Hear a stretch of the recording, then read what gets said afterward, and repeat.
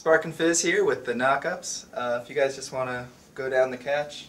Sure. Um, I'm Kat, and I play bass. Gretchen, and I play guitar and sing. Uh, Dan, play drums.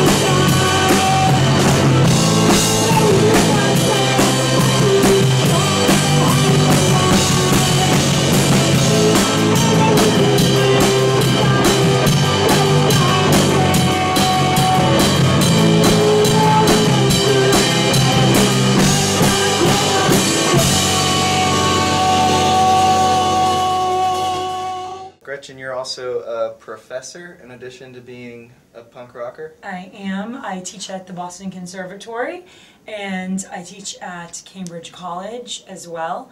Um, so I teach writing, uh, poetry when I'm lucky, and research writing courses. So Are there any other punk rock professors there, or is it, is it hard to tell when you're there? no, it's it's pretty easy to tell. you were on stage with U2 in the recent past. Yes. Uh, tell us a little bit about that.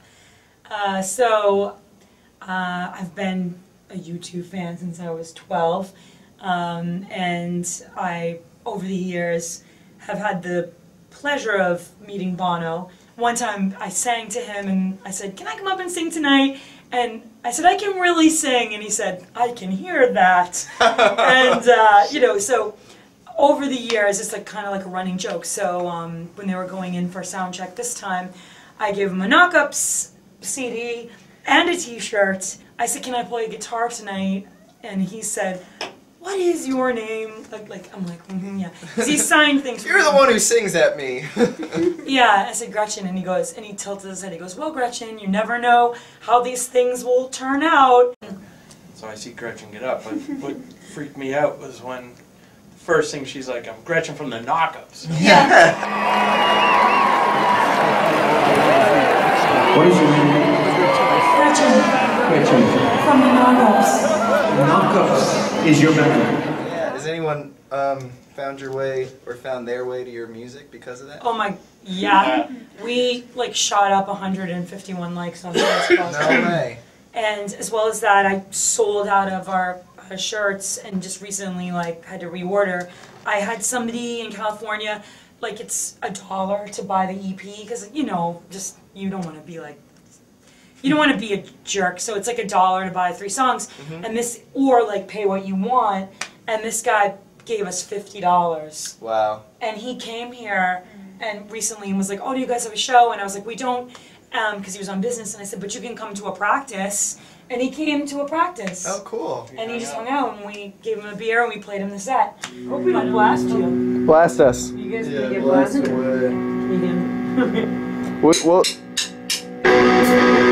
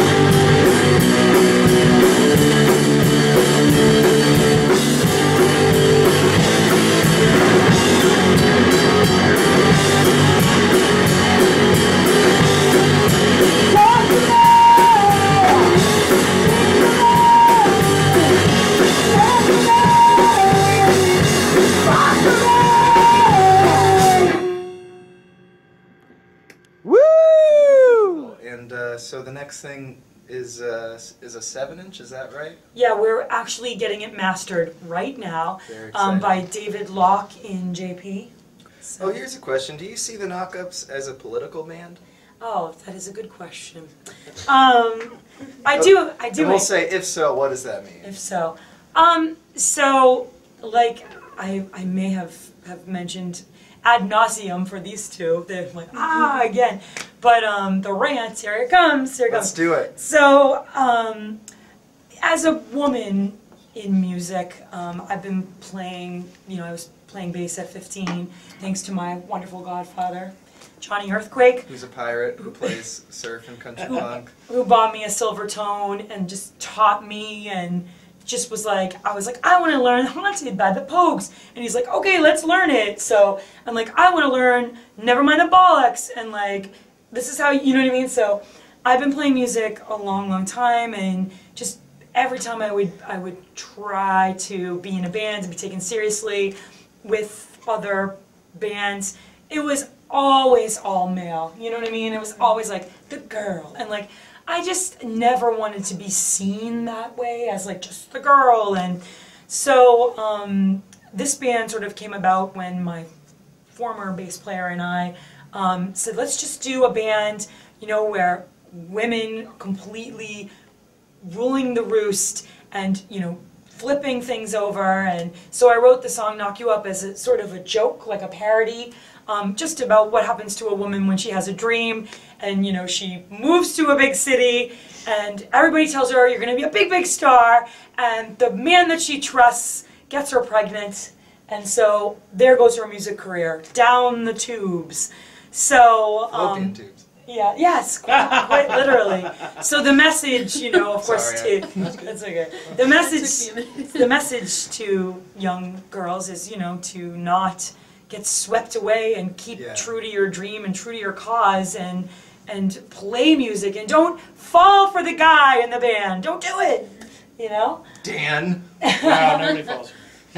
Um, so then, like, out of that song, sort of came like "Shut Up and Put Your Dress Yeah. On," which was, um, we were rehearsing for L7 at the time. We were doing an L7 show, and so um, that song just sort of evolved from the learning of the L7 songs, and um, I just wanted to write something that was about just taking the idea of gender constructs and flipping them um, in terms of you know the, most people think shut up and put your dress on is the man talking to the woman but really it's the woman talking to the man. Like okay you think you're so big and you're so you know hot you shut up and you put the dress on because i'm going to be in charge and i'm going to be the boss you know so it's like a role reversal Yeah. um, so that women don't always have to feel like you know demure and you know they can't be the boss Can we maybe close with everyone's like worst show memory? ah oh i can i'll go first this is very good I don't even. I'm thinking Gretchen knows what it is. I, i'm thinking I it's the mean, one at so the middle east have. Like, the middle east upstairs Well, no, when it he said like no no no I don't know, listen to him what was it? well, no, I was in a band with like, and it was. I'm not mentioning names, but there was a band that I was in. The guy with the serious cocaine problem, who would like before a show, like we'd be get you know before a show. Sometimes you go back to the space, you get your equipment, and blah blah blah. Mm-hmm. So we were going back to the space, well, we were at the space and we were loading our equipment. And we saw him there, and he was like with some friends up. Like he would always have these squirrely kind of friends. Come showtime, he like the shades go on. He like Oh, put the oh, shades Oh, on. He had these like aviator shades. He's like, Oh, like he whispers to me like, "I'm just gonna do this like feedback thing. Just, just like go with it. Just go with it. Just, Go with it.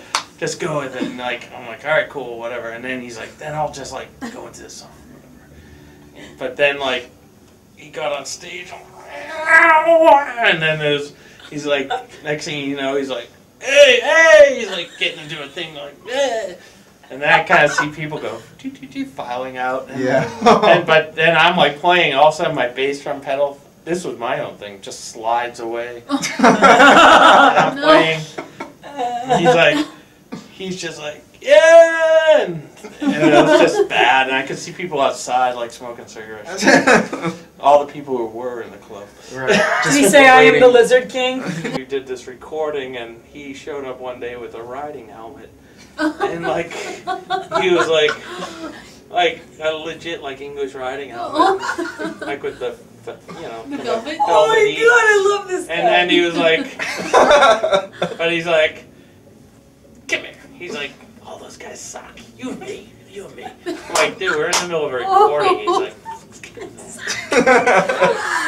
Oh my god. but it was always like these things, these fantasies. Like, it's the journey. You know, you go from your basement playing Chuck Berry with your friend and your mom flicking the lights, and the guy like swallowing coke. Yeah.